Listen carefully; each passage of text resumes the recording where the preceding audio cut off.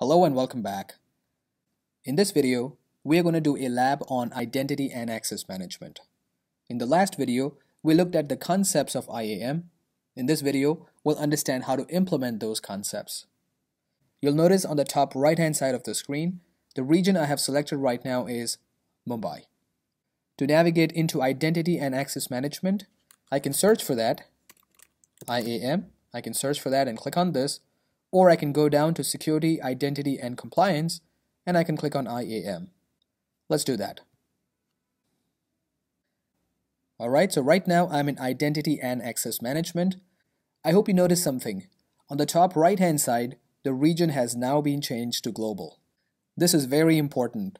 Identity and Access Management is a global service, which is why we don't see a region over here. Instead, we see the word global. On the left hand side, we have the different options that we discussed, like users, groups, roles, and policies. Let's start by creating a new user account. You can do that by clicking over here, or we can also click on users over here.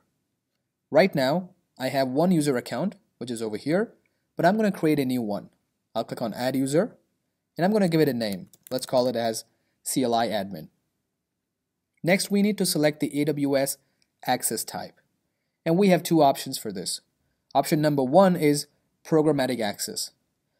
This option can be selected if you plan to use this user account to access AWS from API, CLI, or SDK.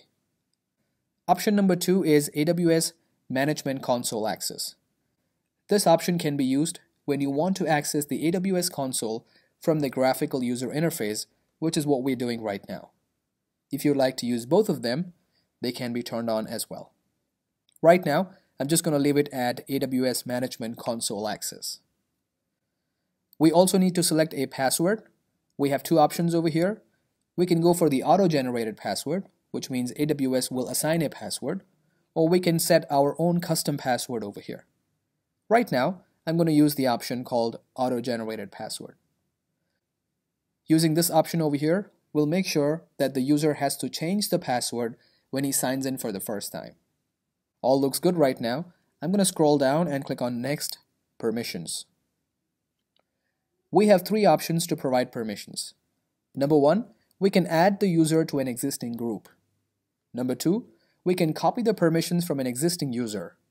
For example, I have a user over here, I can select this user and copy the permissions to the new user called CLI admin. Number three, I can attach an existing policy to this user account. Right now, I'm not going to do anything. I'm just going to go down and I'm going to say next review.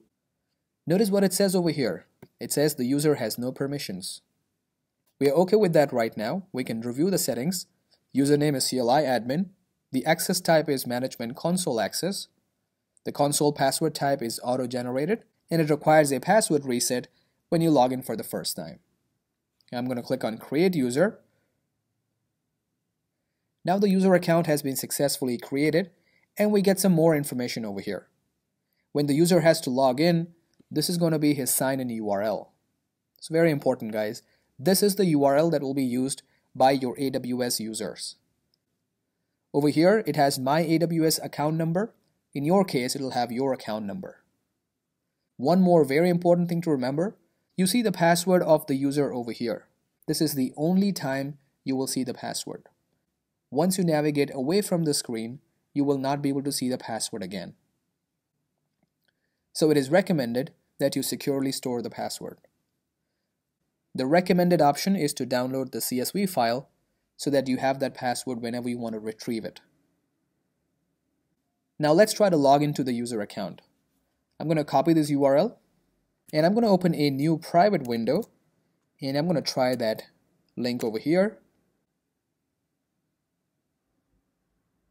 All right, so it has my AWS account number. I'm going to type in the username, which is CLI admin, and I'm going to type in the password as well by copying from here. Come back over here and paste the password and click on sign in. All right, I've logged in. Now I'm going to change my password and I'm going to plug in the new password. Okay, and I'm going to say confirm password change. Alright, I've logged in. I want you guys to notice on the top right hand side, I have the username and I have the AWS account number. I also have the region into which the user has logged in. Right now, the user has no permissions at all. We can verify this. I'm going to try and access S3 and let's see what happens. It says access denied and that's how it should be because we haven't assigned any permissions to this user account. Right? Let's go back. Okay, now I'm going to close this and we'll understand how to create a group. So I'm going to go over here to groups and I'm going to create a new group and I'm going to call this group as S3 admins. And I'm going to click on next step. We need to attach a policy. The policy will provide the permissions to the group. It is not necessary to assign a policy, but right now I'm going to do that. I'm going to search for S3 policies and I'm looking at this one, Amazon S3 full access. Just going to select that and click on next. So we have the group name over here and we have the policy that has been attached and I'm going to say create group.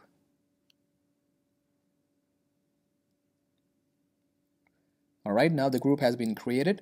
The next step is to add the user into this group. So I'm going to select that and I'm going to say add users to group and I'm going to add this guy over here, CLI admin and click on add users. That adds the user to that group. We can verify this. The group was given the permission of S3 full access. If I go back over here and if I try to refresh my screen, I should have access to the buckets. We can try that. I'm going to do a refresh. And straight away you will notice that we are able to view the buckets. So that's how you can provide permissions to the users. You can provide permissions directly to the user accounts, which is one way of doing things, but it can be tedious. If you have to create multiple user accounts and attach policies to them, that can be a time consuming task. Instead, we can create a group, attach a policy to the group, and add all the users into that group. Right, let's go back. Alright, now let's talk about roles. We spoke about roles in the previous lecture, where we understood that a role is similar to a user in that it is an identity with permissions and it is designed to be assumed by a user or a service. We also looked at an example where an EC2 instance was trying to access an S3 bucket. By default, the AWS services do not have access to each other. In that case, we would have to create a role that provides access to the EC2 instance to access the S3 buckets. Let's try to do that right now. I'm going to click on new role over here, create new role. We first need to select who is going to assume that role. In the example that we just discussed, we have an EC2 instance that is trying to access an S3 bucket, which means the role has to be assumed by the EC2 instance. And that's what it says over here. Allow EC2 instances to call AWS services on your behalf. So we are trying to create a role that can be assumed by EC2 instances. So I'm going to click on select. Next, we need to select a policy, a policy that provides the required permissions. Over here, I'm going to look for S3, and I only want to provide read-only permissions. So I'm going to select this one over here, Amazon S3 read-only access. Just select that and click on next. We need to give it a name. So I'm going to name it this way. I'm going to say EC2 S3 and I'm going to say read only access right EC2 S3 read only access and I'm going to create that role now that the role has been created, we can go ahead and assign this role to EC2 instances so they can read the objects in S3 buckets. Right now, we're not going to do that. We'll see how to do that in the video on EC2. Right? Now let's talk about policies. We spoke about policies. A policy is a document which can be used to provide permissions. There are two types of policies. You have AWS managed policies and you have customer managed policies. What we are seeing right now are AWS managed policies. You can see that over here. These are all created by AWS. However, we can also create policies. The way to do that is this option over here. We can click on create policy and we'll have three options. We can start by copying from an existing AWS managed policy. Click on select. We can select any one of these policies and build our policy from that. That's option number one. Or option number two is to use the policy generator, which is a very easy option. We'll try that. I'm going to click on select over here.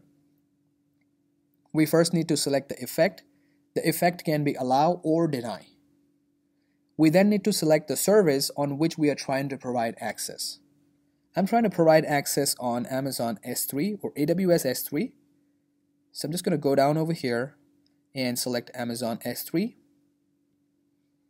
Using the Actions menu, we can select Granular Permissions. You'll notice there are so many permissions related to S3, and we can be very granular. For example, over here, I'm going to provide this permission called Get Object. So this policy will allow you to get an object from an S3 bucket. Next, we need to provide an Amazon resource name. An Amazon resource name is a unique identifier for every object in AWS. So I need to get the ARN of the bucket on which I'm trying to provide the access. And I can get this from S3. So I'm just going to drop down the services and I'm going to open S3 in a new window or a new tab. Go down over here and I'm going to click this bucket. There's an option over here that says copy bucket ARN. Just going to copy that, come back over here and put that ARN over here. And I'm going to click on add statement and click on next. So this is the policy that we created right now.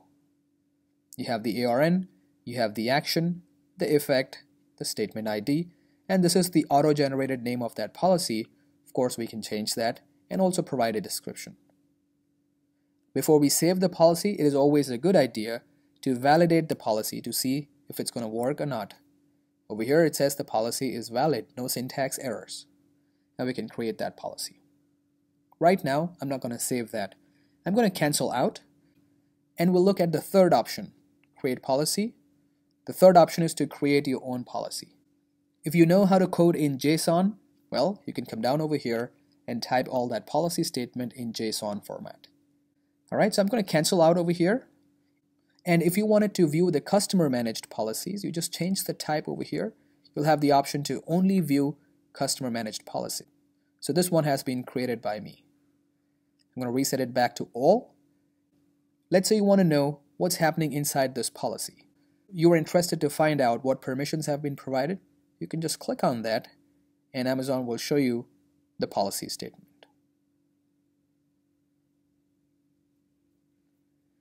Right, so that's all the topics that I wanted to discuss in this video. In the next video, we're going to look at some really interesting and important topics. We'll understand how to activate multi-factor authentication on your root account. We'll understand how can we set the password policy. And you look at this URL over here, this is a really complex URL, something that is very hard to remember. We'll also understand how to customize this URL. So there's a bunch of interesting topics coming up in the next video, if you have any questions about what we learned right now, please feel free to leave a comment and I'll try to address that. I'd like to thank you for watching and I'm going to catch you in the next video. Thank you.